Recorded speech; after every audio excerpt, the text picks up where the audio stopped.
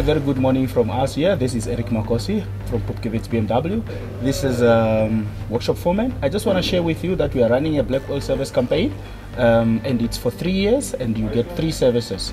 Uh, this black oil service campaign, it's very much affordable.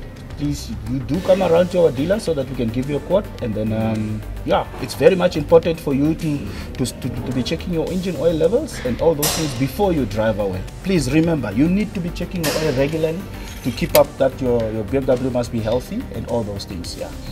So this is the oil for this vehicle. It looks alright. Everything is okay. Okay. And then um, this is the BMW oil that we do put in our vehicles. This is original BMW approved oils. This oil, it gives you less emissions and then it, it gives you more driving pleasures. Please remember to come around so that we can give you a quotation on our black oil service campaign that we are running on. It's very much affordable. Three services for three years.